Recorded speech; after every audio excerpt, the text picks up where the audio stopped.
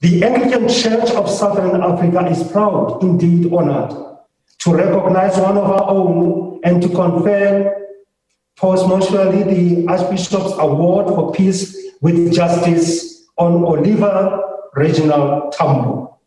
Honoring the ANC's longest serving president, but the Archbishop was particularly perturbed by acts of looting and corruption around PPEs, which he reiterated that it was genocidal. We are living in a moment when public trust is at its lowest, as President Ramaphosa has conceded.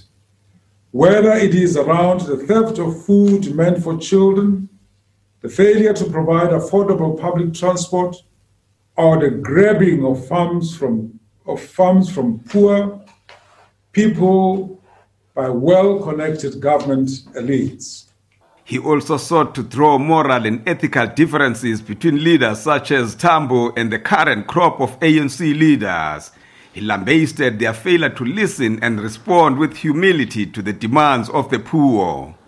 Let us hear the pain and desperation of the poor, especially of young Africans without jobs or hope who yearn for the social economic lives of our nations to bend towards equality, equity, redress, inclusion, redistribution, recognition, and real transformation, what I refer to as the new struggle.